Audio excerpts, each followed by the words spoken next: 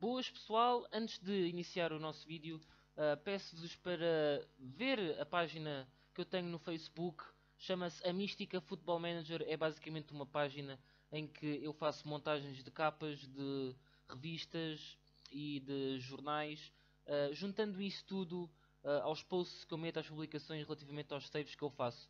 Neste momento um, não está em curso, mas uh, vai estar relacionado com estes vídeos também. Eu irei relançar uh, essa então página, portanto uh, passem por lá, metam um gosto e partilhem. Obrigado.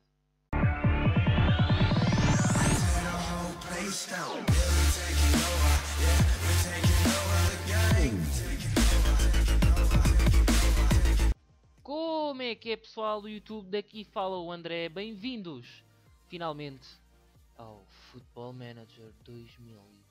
Oh! E começamos então a nossa série com o FM18. Uh, eu entretanto eliminei o, a minha série anterior do, do FM17 com o Valência simplesmente por duas razões. A primeira, eu não sei o que é que se passou com o vídeo, ele ficou com várias partes. Uh, para eu quando gravei ele não ficou assim. Quando meti no YouTube ele ficou uh, defeituoso vá e também consegui finalmente arranjar o meu jogo uh, uh, de FM 2018 agora sim vamos começar uh, mais atualizados. Não vamos jogar com o 17 vamos jogar com o 18 e vai ser a minha série da praxe como sempre com o Benfica.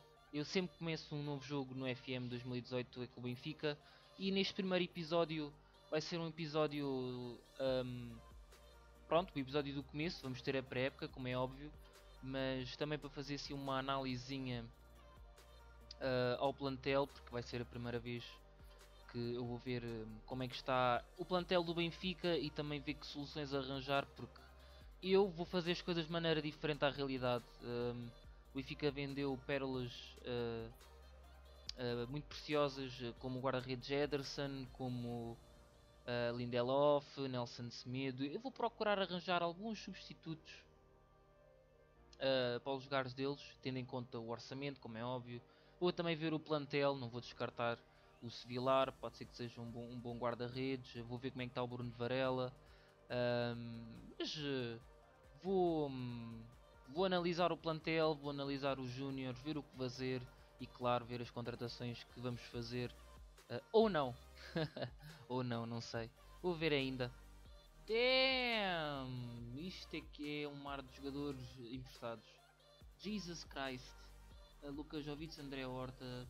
André Horta é uma pena. O André Horta era um grande, grande jogador no FM17. Uh, deixa lá ver como é que ele está. Pois. Um, certamente não tem os atributos que tinha no começo do 17, mas tem muitos bons atributos. Tem apenas 20 anos e eu ia fazer dele uma besta e vou fazer na próxima época já que ele vai regressar mas uh, Brian Cristante também pronto já tem 22 anos mas também vê-se que é um bom jogador. Também é um desperdício. Talisca eu adorava o Talisca. Eu não, quando jogava o 17 eu até cheguei a fazer o Talisca voltar e ele ainda, um, ainda me ajudou imenso. Tem 23 anos. Epá, não sei se ele aqui tem alguma espécie de. Uh, alguma espécie de contrato já com o Besiktas. Ah, valor futuro opcional, ok. Pode ser que ele ainda volte. Uh, não sei, não sei. Uh, é questão de ver, é questão de ver. Vamos então ao plantel. Ora bem, cá estamos então a ver o plantel do Benfica e estou a ver que temos aqui uma long fucking list. Uh, provavelmente de jogadores que a gente não vamos utilizar ou necessitar. Ora, por empréstimo no Panathinaikos, temos aqui muitos jogadores no plantel principal para a gente despachar, porque estão por empréstimo nos clubes. Começamos por este bacana, Gabriel Castro, não faço a mínima ideia de quem seja. Um, mas vamos aqui eliminar uns quantos jogadores. Rubem Dias no plantel principal, também subiu no ano passado, uh, muito bom jogador. Uh, eu espero não me desapontarem em certos, em certos atributos. Eliseu, ainda cá estás? Olha, isto vai ser o primeiro a ser despachado. Lamento imenso. Gostei muito do Eliseu, mas acho que ele já não, não tem muito a dar. Também temos o Grimaldo. Vou procurar um defesa esquerdo.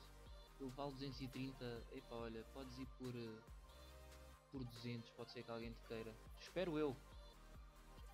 o Eliseu vai ser o primeiro a ser despachado do plantel. Temos aqui o Hermes para mandar embora também.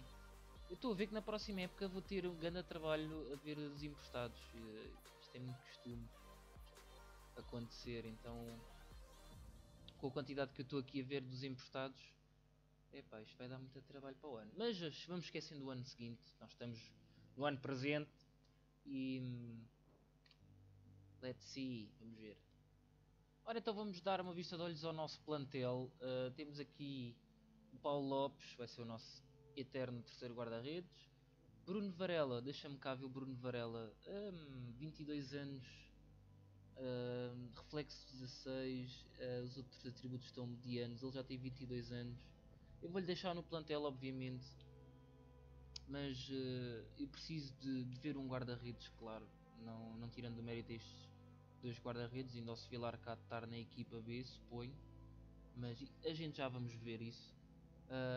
Um defesa central, como é óbvio, vai ser outro jogador que vou tentar procurar neste mercado. Uh, Luizão, 36 anos, vai ser um lateral mais para dar experiência e acompanhamento aos jovens. Temos aqui o Jardel, Jardel 31 anos. Olha, eu até posso dizer que vou procurar vendê-lo neste mercado também e ver se surge alguma coisa. Se bem que eu não vou vender a equipa toda, como é óbvio, porque depois o entrosamento fica péssimo. Rubem Dias, sim senhor, vamos fazer deste defesa central, defesa central um, muito bom, 5 estrelas. Uh, Douglas, emprestado, 26 anos, mediano, para mim, na minha ética. Eliseu já vai-se embora. André Almeida vai ser um jogador muito útil para mim. Pode jogar defesa direita, a trinco, a médio, defesa esquerdo. Ele é, é muito dinâmico, eu vou usá-lo Uh, Alex Grimaldo, toda a gente sabe que o Alex Grimaldo é uma máquina. Uh, se bem que ele é muito propenso a lesões, portanto temos que nos precaver. Mas pronto, para já vamos precisar de um uh, defesa central ou, ou dois. Não, se calhar um uh, Luizão Jardel Rubén. Um defesa central ou dois, nem que o, o, o quarto seja um emprestado. Uh, que eu também não quero esbanjar muito dinheiro aqui. um guarda-redes, um defesa central e um defesa esquerdo. Agora vamos seguindo para o meio campo. Temos André Chamaris, 28 anos. Pode fazer mais uma épocazinha. Um, Krovinovic, sim senhor, dá para ver que isto vai ser dos melhores jogadores que a gente vamos ter aqui no clube. Se uh, ele recuperar bem da lesão, ele está com uma hérnia. Uh, recuperar bem da lesão e, e jogar bem, evoluir. Uh, vai dar certamente um grande jogador. Depois temos aqui o Pizzi que também vai ser muito útil. Ele é muito bom jogador. Franco Servi, também muito bom jogador, 23 anos. A parte atacante, não sei se vou ter que fazer alguma contratação, porque como estou a ver, a parte atacante, jogadores jovens, jogadores bons, jogadores experientes, uh, se calhar mais uh, a nível de avançado, porque o Jonas já não está a dar para novo, 33 anos. Depois temos o Raul Jiménez, que não gosto muito dele, sinceramente. Uh, se o pudesse vender neste mercado também era muito bom. Depois temos aqui Aris Seferovic também não. Epá, eu, eu quero um, um, um, avançado que faça impacto e que faça golos junto com o Jonas. Seferovic talvez será o meu terceiro ponta de lança. Raul Jiménez vou tentar vender. Uh, portanto, o nosso plantel principal está visto. Agora vamos aos restantes. Agora estou aqui na equipa técnica. Eu não estou muito habituado. Ah, está aqui. Em baixo. Ele antes era em cima, agora está cá em baixo. Agora, em termos de um, jovens, eu preciso de espreitar aqui alguns, porque um, tenho a certeza que uh, há certos jogadores que eu conheço, derivado também ao jogo do ano passado, não só a, realidade.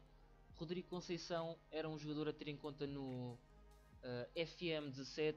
Eu vou tê-lo debaixo do olho para ver se realmente mantém. Diego Batista é um excelente jogador. 17 anos, vemos os atributos deles, ele pode evoluir muito. Uh, ele vai fazer pré-época connosco. Eu vou subi-lo à equipa principal para fazer pré-época. Ora, o que é que nós temos aqui mais? Mais, mais, mais. Luís Pinheiro também era um excelente jogador. Foi o meu defesa de direito de preferência. Portanto, ele vai fazer pré-época também, 17 anos. Eu quero evoluir jogadores, não só uh, comprar. Eu gosto muito de formar jogadores de, das nossas camadas jovens. Também havia o Diogo Capitão. Está aqui, Diogo Capitão. Também foi um grande defesa central.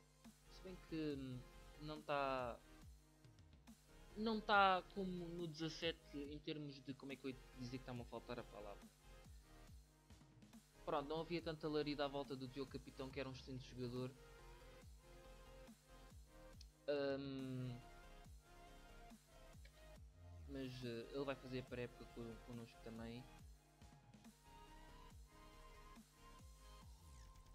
Agora, pessoal, se eu estou a ver mais os, os que eu conheço do ano passado, mas claramente se vocês conhecerem ou ouvirem que há outros jogadores, já agora deixa-me espreitar o Mauro Embaló, se houverem outros jogadores que hum, vocês acharem que sejam bons para ter em conta, digam-me nos comentários, se faz favor. Uh, que é para eu depois ver e considerar. Vamos à equipa B. Temos aqui Olá John.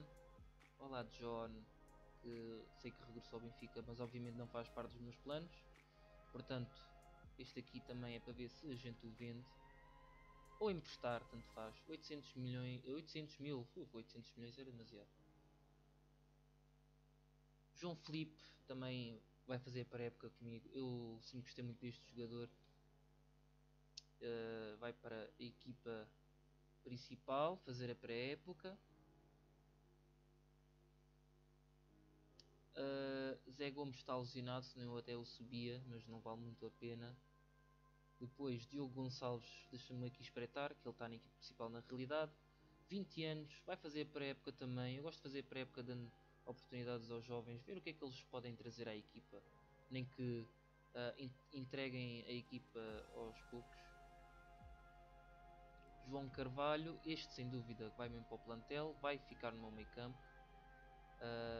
tem 20 anos, muito novinho ainda. Agora ando aqui perdido. Desenvolvimento, enviar para satélite. Ok. João Félix. Top, este jogador é top. 17 anos, vejam só os atributos. 15 técnica, 15 primeiro toque, 14 de passe, 14 de finta. Este vai ser craque. Vai, vai fazer pré-época também. Anda filho, anda, vamos. Vamos treinar. Chris Willock, este jogador por acaso eu não conhecia, mas também não. Ele vai fazer para época também. Eu vou testar jogadores, como já estou aqui parte de dizer. Uh, mas também não me parece, não me parece mal. Ele é veloz, tem 19 anos, tem muito a melhorar. Heriberto Tavares, deixa-me espreitar, também não me parece mal. 20 anos, uh, vai fazer a pré-época também.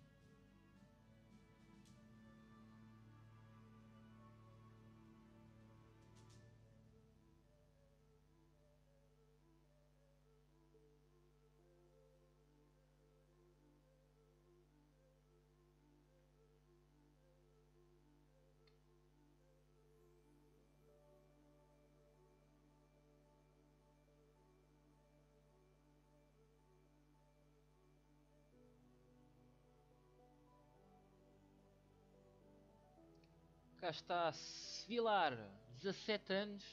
E o gajo está aqui com uma juba, Jesus. E pelo que vejo dos atributos, ele uh, com 17 anos pode melhorar muito e uh, ele vai para o plantel principal fazer a pré-época e claro ele vai ser uh, o nosso terceiro guarda-redes, o Paulo Lopes. Vou, vou, vou metê-lo na B ou assim.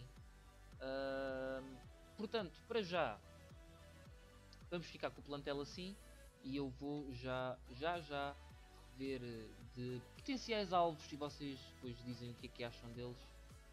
Uh, portanto, vamos à caça! Ora bem pessoal, eu já decidi uh, fazer propostas por alguns jogadores uh, que estão na minha mira. começando, epá, algumas das propostas ou tentativas de abordagem sei que deverão ser meramente impossíveis. Por exemplo, Mário conheço muito bem do Vila Real, defesa direita. Um, é bom jogador. Uh, gostava de o ver no Benfica. Dei proposta de 13 milhões. Nós temos o orçamento de 16, mas eu também estou a contar com algumas vendas. Uh, mas duvido que eles queiram igual ou menos que isso. Jesus Valerro vale 5 milhões, prometem uma aposta de 5 milhões só para ver o que é que eles dizem. Este vai ser um, um, uma futura estrela como defesa central, está no Real Madrid e obviamente que eles não devem desperdiçar, uh, a não ser que fossem muito burros. Uh, Éder Balanta, este eu acredito mais, é um defesa central que um, eu tenho estado constantemente a ser fiel uh, em todos os FMs, desde o FM 14 salvo erro, é muito bom defesa central, 24 anos, uh, nos status de, de defesa central um, estão ótimos. E fiz uma aposta de 5 milhões mais ou menos eles vão de aceitar. Gaia para defesa esquerda isto era um sonho 9 milhões e 25 uh, foi a minha proposta que é o que ele vale mas eu não acredito que eles queiram igual ou menos que isso uh, certeza que devem dizer muito mais outro Jordan Lukaku defesa esquerdo ele é muito veloz Uh, tem alguns um, status que precisava de emendar, mas uh, também tem 22 anos e ainda pode melhorar. E também nós temos o Grimaldo, portanto, para lutar uh, pela titularidade seria ótimo de ver. Depois para o meio campo, eu, eu disse que o meio campo estava bom, mas eu gosto tanto deste jogador, Danilo. vale 2 milhões e 6 e 600. Eu vou tentar fazer uma proposta. Eu gosto muito deste jogador, também joguei com ele no, no ano passado, quando ele estava lá emprestado. Um, portanto, gostava de o ver continuar a usar a camisola do Benfica. Uh, olá John, já meti nas vendas, já recebemos resposta de 800 mil que, que, pedimos. Vamos ver o que, é que, o que é que sai daqui, malta. Também vamos ter um jogo contra o Tondela, mas este episódio uh, vai ser muito curto. Um, porque uh, é só mais uma análise de equipa, ver contratações, saber também um bocado da vossa opinião antes de arrancar com a pré-época. Por isso, já sabem, malta, se tiverem gostado deste vídeo, metam um gosto, partilhem, uh, digam uh, sua justiça, que jogadores é que vocês queriam ver uh, na minha equipa, jogadores que ficam bem com o manto sagrado, jovens promessas, uh, um bom avançado também para juntar esta equipa, porque eu sinceramente andei a ver e não, eu não quero gastar muito dinheiro, prefiro reforçar mais na defesa uh, do que propriamente como num avançado só para esta primeira época. Temos o Jonas, temos o. Pronto, temos o Seferovic, também temos alguns jogadores nas nossas camadas, incluindo o Zé Gomes, que também está alucinado. Mas pessoal, digam uh, nos comentários aquilo que entenderem. Uh, se calhar vão mesmo deixar o episódio por aqui para saber também um bocado do vosso feedback. Espero que tenham gostado, um episódio uh, curtinho, espero eu. e até à próxima, malta. Fiquem bem.